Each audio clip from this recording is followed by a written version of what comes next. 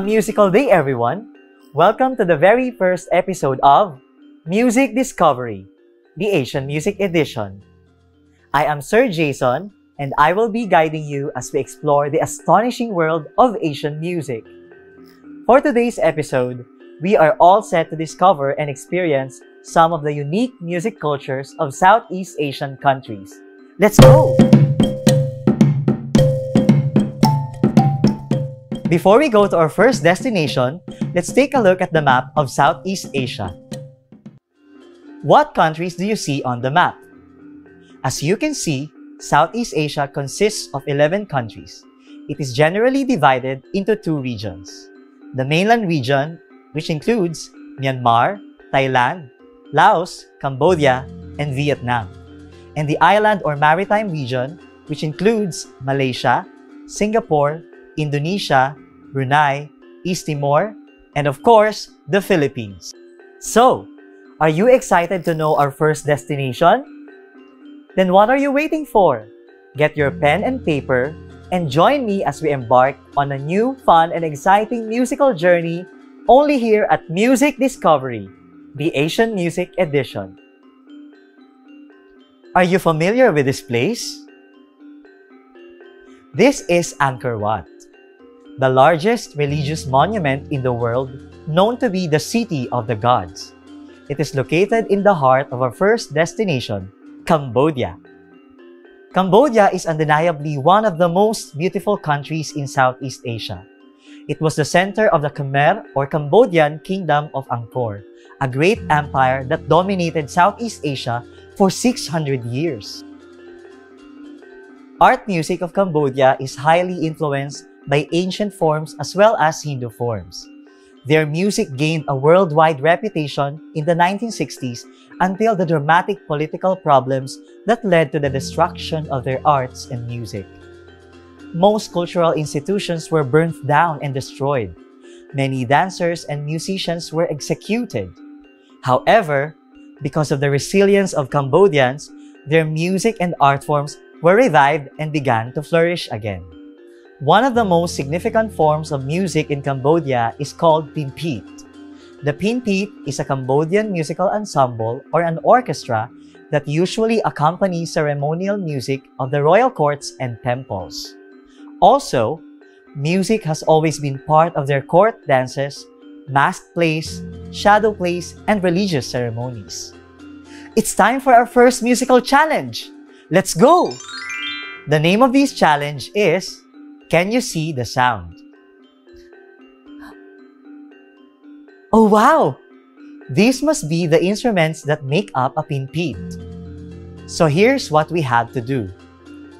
There are five different sounds that will be played.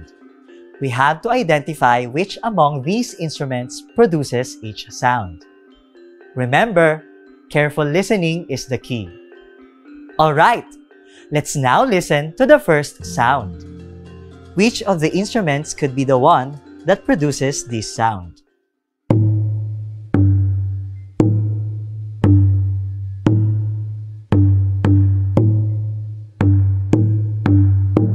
If your answer is scorthom, you got it right! The scorthom is a percussion instrument with two barrel-like drums played with a pair of wooden drumsticks. It is classified as a membranophone instrument because it produces sound primarily by way of a vibrating stretched membrane. Membranophones can generate sounds by striking, rubbing, or blowing against a stretched membrane. Ready for the second sound? Let's hear it! Which instrument do you think can produce this sound?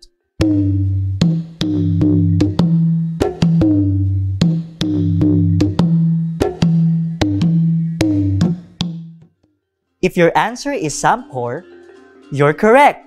The sampor is a double-headed barrel drum indigenous to Cambodia. The sampor has two heads with one drumhead being larger than the other and is played with both hands. Just like the scorthom, it is also classified as a membranophone. Alright, two down, three more to go. Let's now listen to the third sound. Which among these three instruments can produce this sound?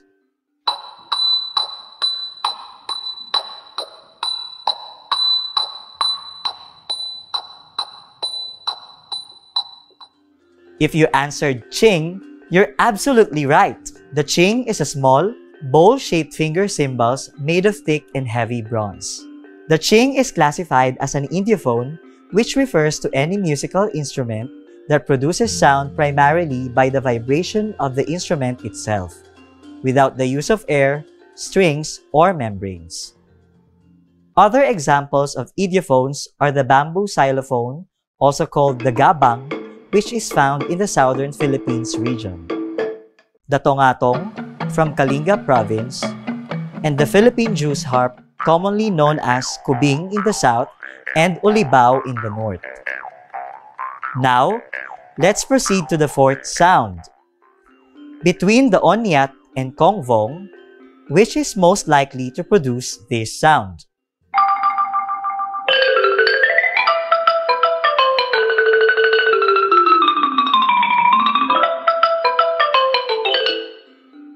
If your answer is onyat, you just got it right again.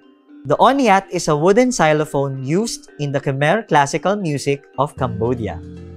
It has 21 thick bamboo or hardwood bars that are suspended from the strings attached to the two walls, played with wooden drumsticks. Onyat also belongs to the classification idiophone. Look! There's only one more instrument left, and it's called Kongvong. The Kongvong is a traditional Cambodian percussion instrument having numerous gongs attached together onto a circular rack that goes around the player. Are you curious about the sound it produces? Let's hear it!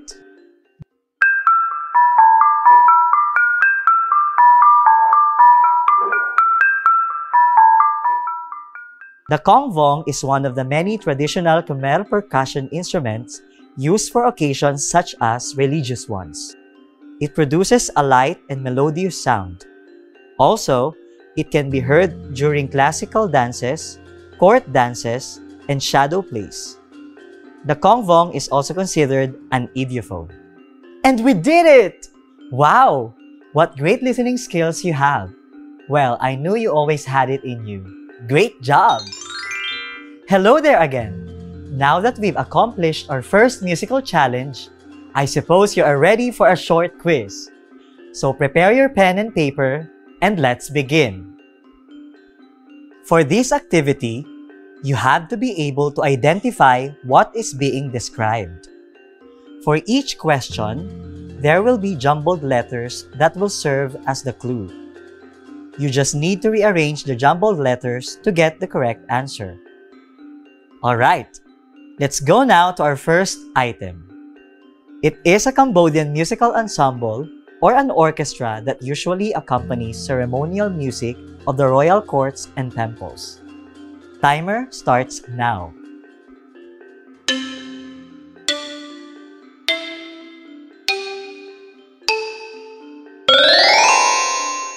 The correct answer is Pinpeat. For our second item, it is a Cambodian percussion instrument with two barrel-like drums played with a pair of wooden drumsticks.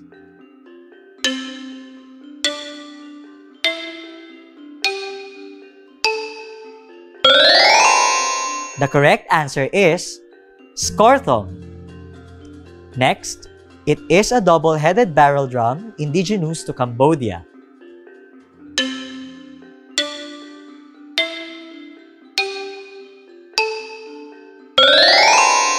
The correct answer is Sampor. Item number 4. It is a small, bowl-shaped finger cymbal made of thick and heavy bronze.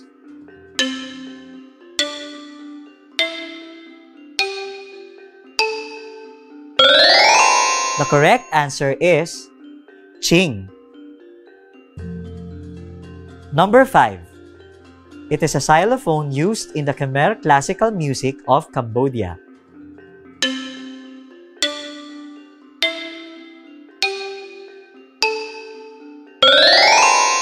The correct answer is Onyat.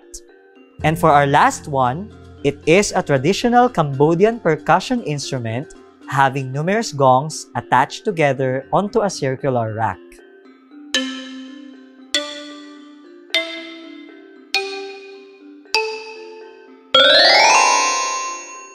The correct answer is Kongvong. There you have it! I hope you enjoyed our treat today and I also hope that you learned something valuable from today's episode. Always remember that one way of learning culture is through music. Once again, I am Sir Jason and this is Music Discovery, the Asian Music Edition. See you on our next trip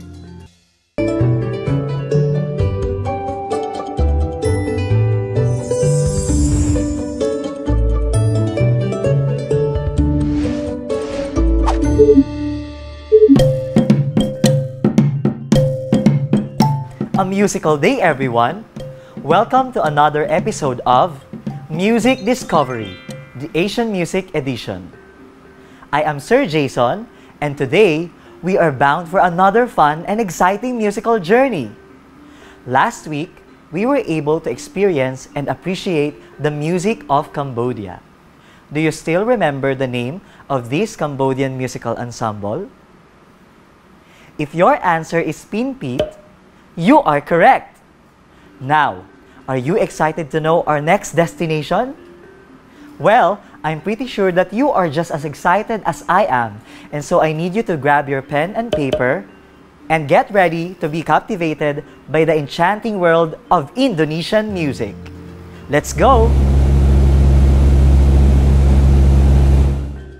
If Cambodia has the Angkor Wat, Indonesia has the Borobudur the world's largest Buddhist monument that attracts huge crowds of tourists from around the world.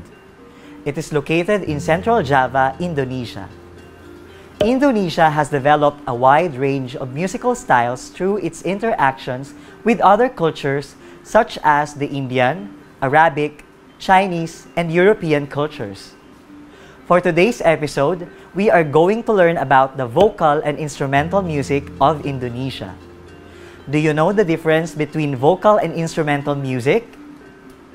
Vocal music is music coming from the human voice, while instrumental music is music coming from an instrument. In Indonesia, vocal music is used as ornamentation and it is as important as the gamelan. One of the best examples for vocal music from Indonesia is called Si Patokaan. Si Patokaan is a nickname which is usually used for North Sulawesi children from the North Sulawesi province. It is a favorite folk song in North Sulawesi. In fact, it is usually sung by the community at special events.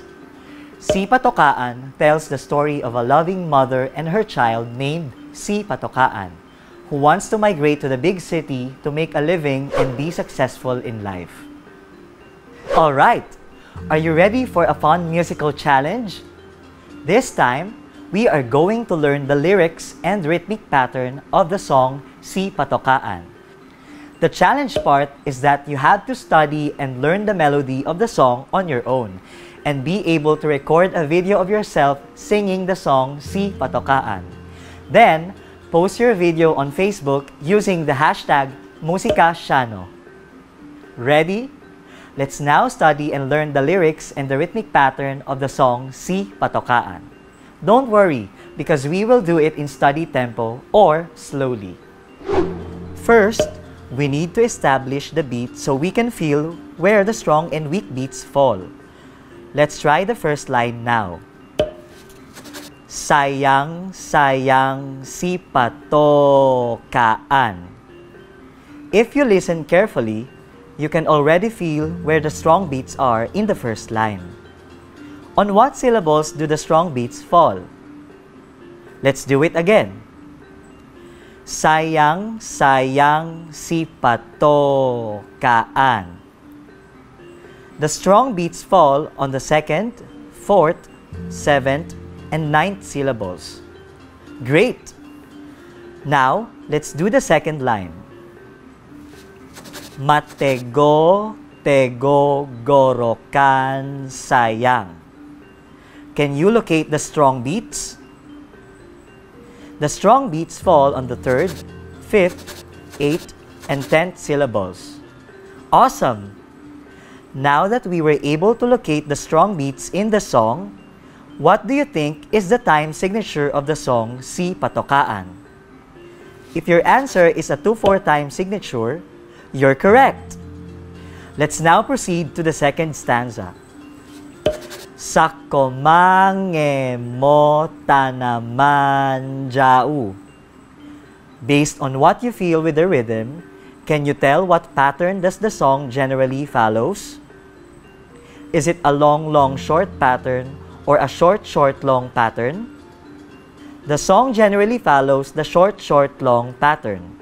Let's do it again, but this time, we will replace the lyrics with the pattern. Just like this. Short, short, long, long, long, short, short, long, short, short. Let's try the last line now. Here it goes. Mange mo mile leklako sayang. Does this line follow the short, short, long pattern? Are you sure?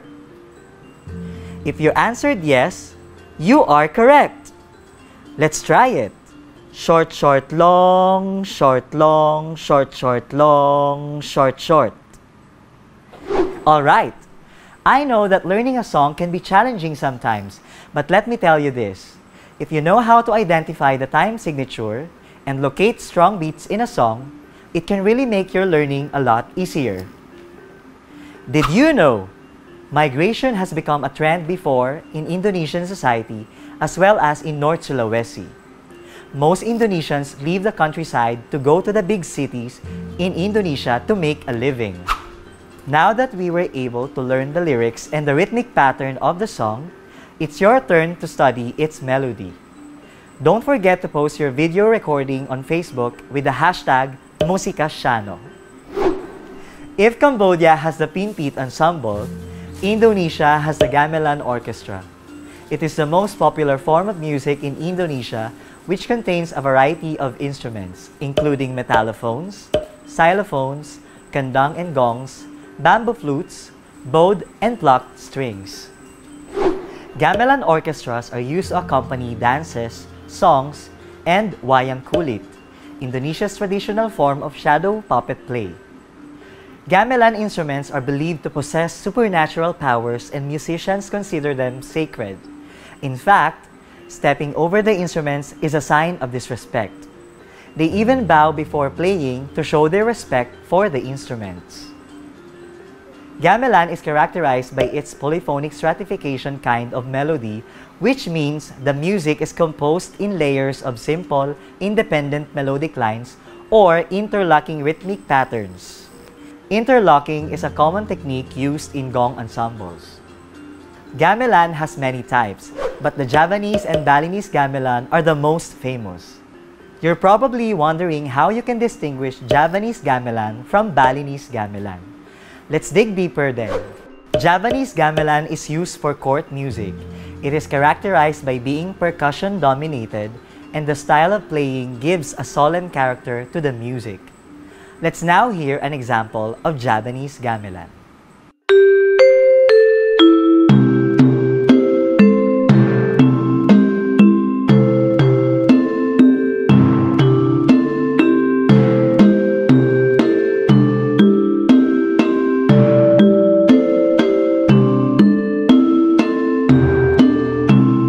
Balinese gamelan is used for sacred music. It consists of metallophones and mostly gongs. It is characterized by sudden changes in tempo and dynamics, very bright and brilliant sounds, and the use of fast and rattling sounds of the cymbals, which gives it its distinctive characters. Let's now hear an example of Balinese gamelan.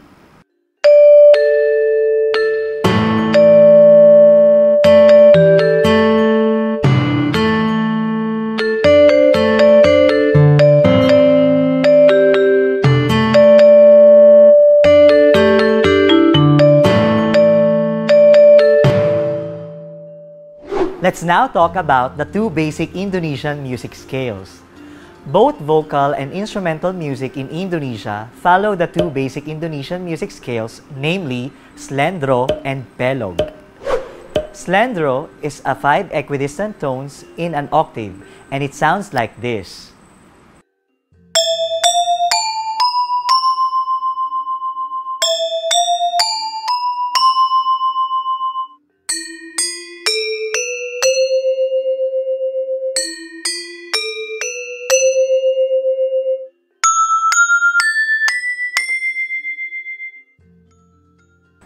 Pelog is a seven-tone scale with semitones and it sounds like this.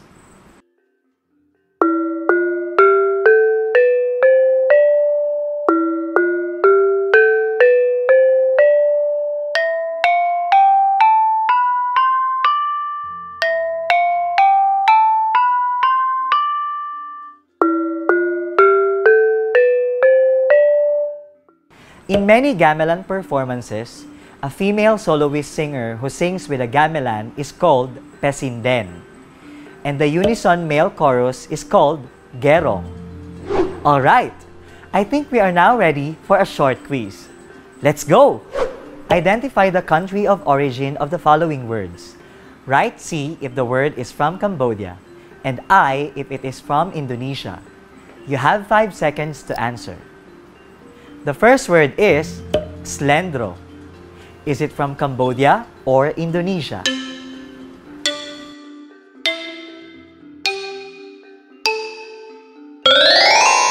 The correct answer is I, Indonesia.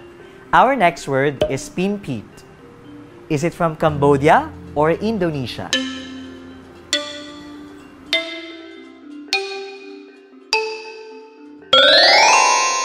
The correct answer is C, Cambodia.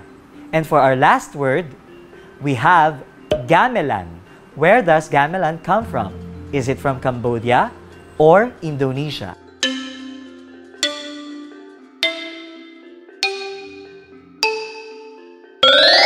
The correct answer is I, Indonesia. And there you have it. I hope that you not only enjoyed our short but sweet trip, but that you learned something valuable from it too. Once again, I am Sir Jason and this is Music Discovery, the Asian Music Edition. Terima kasih!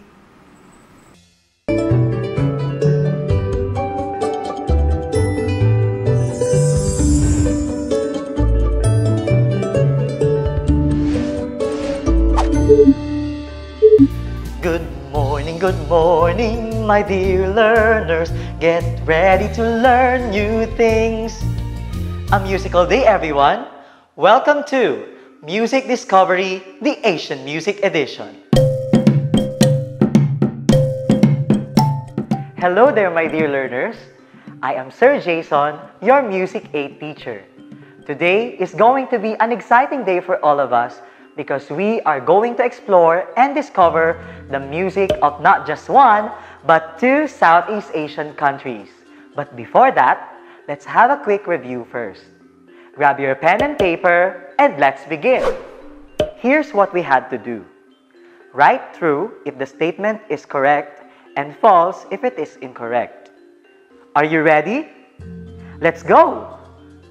Statement number one.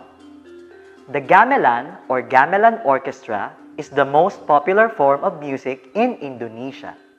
The correct answer is true. Statement number two. The vocal and instrumental music of Indonesia use the slendro and pelog scales. The correct answer is true. Let's now proceed to statement number three. Vocal music is not as important as the gamelan because it is only used as ornamentation for the gamelan. If you answered false, you got it right. Awesome. All right. I hope you were able to get all the correct answers. Now, we can proceed to our next destinations. Make sure to bring your pen and notebook with you because today we will be amazed by the unique music cultures of Myanmar and Vietnam. Let's go! So, Cambodia has the Pinpeat Ensemble, while Indonesia has the Javanese and Balinese gamelans. What about Myanmar? Let's find out.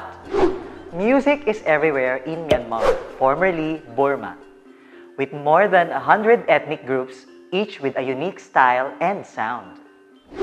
The music of Myanmar is quite like many other musical traditions in the region, including Chinese music and Thai music, probably because its longest land border is shared with China.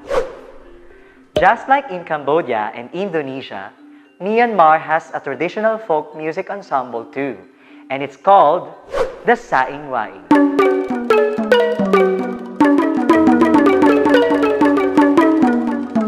The Saing Waing is made up mainly of different gongs and drums as well as other instruments depending on the nature of the performance. Myanmar's musical instruments are categorized into two types, the loud sounding and soft sounding.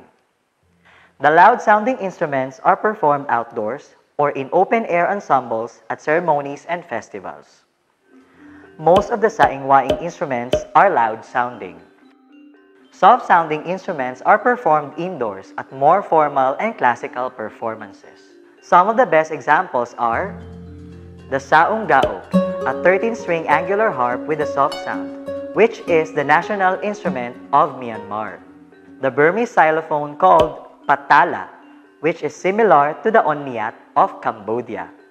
Or the piano and violin, both introduced during the colonial rule period. Aside from musical ensembles, Myanmar also has an extensive collection of classical songs that are usually accompanied by the Saung Gaok called the Mahagita, which means great or royal song. These songs are divided into different types, like the oldest repertoires, royal court music, songs of longing, horses dance songs, worship songs for Burmese spirits, and songs of sorrow and music adapted from Ayutthaya and the Mon people of Thailand. I bet you're ready for our next destination. Well then, let's go to Vietnam! Nak Vietnam refers to the ethnic music that originated from the Kinh people of Vietnam. This term is also used to address the music of any of the numerous ethnic minorities including the Montagnard, Degar, Thai, Cham, and many others. Like many other Southeast Asian countries, Vietnam is also known for its beaches, rivers, Buddhist pagodas, and bustling cities.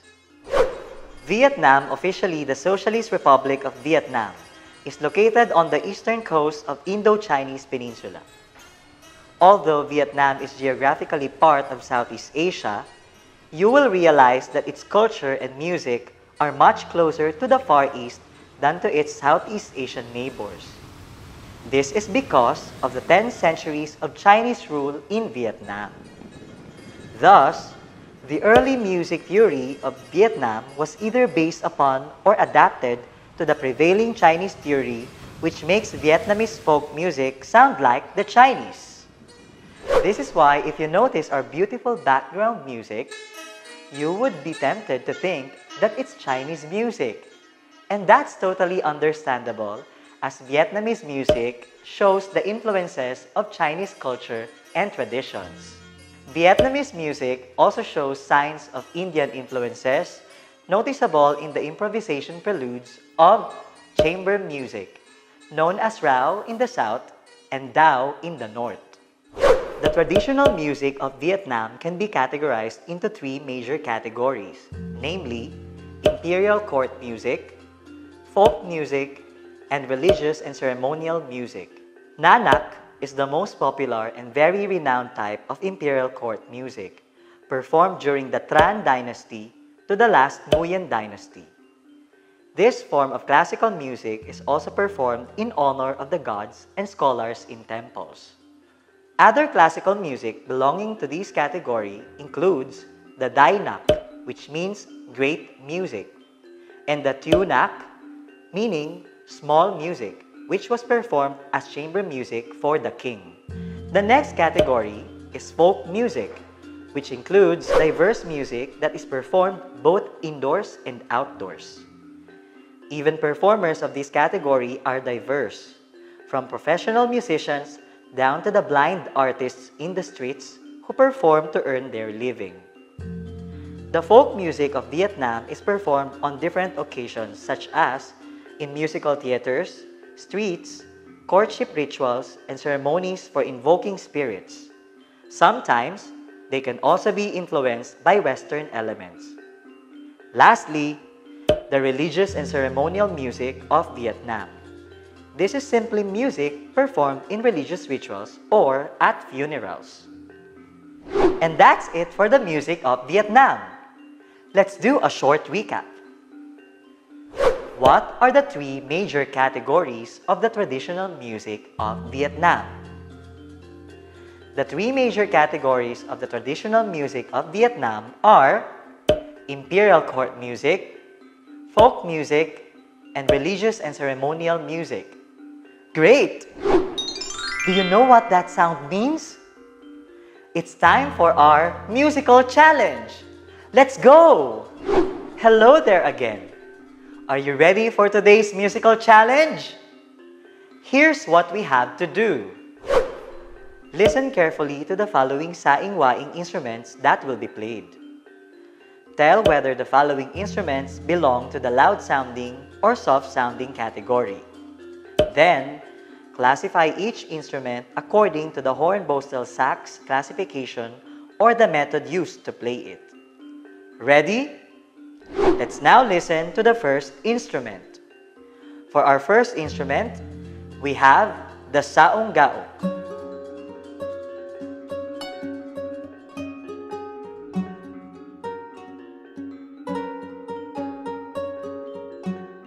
If your answer is soft-sounding, you are correct. Now, what classification does it belong to?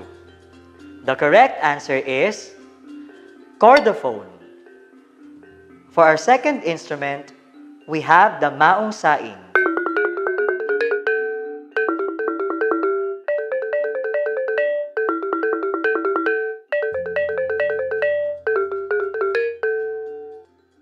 Is maung saing a loud-sounding instrument or a soft-sounding instrument? The correct answer is a loud-sounding instrument. Now, what classification does it fall under? If you answered idiophone, you got it right!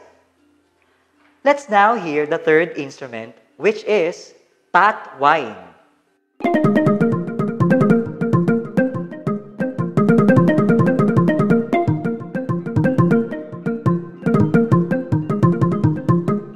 Is it loud sounding or soft sounding? If your answer is loud sounding, you are correct. What about its classification? The correct answer is idiophone. Excellent. Wow! That's a job well done. I can see that you've been practicing your listening skills. Well, good for you, my dear learners. Keep it up. Now, for your assignment, choose one traditional instrument of Myanmar. Find any available sound-producing object in your house that could substitute or imitate the sound of your chosen instrument. Record a one-minute video of yourself playing your chosen sound-producing object. Then, post your video on Facebook with the hashtag Musicasiano. There you have it! I can't wait to see your music amazing videos. Until our next music exploration, always remember, one way of learning culture is through music. Once again, I am Sir Jason, and this is Music Discovery, the Asian Music Edition.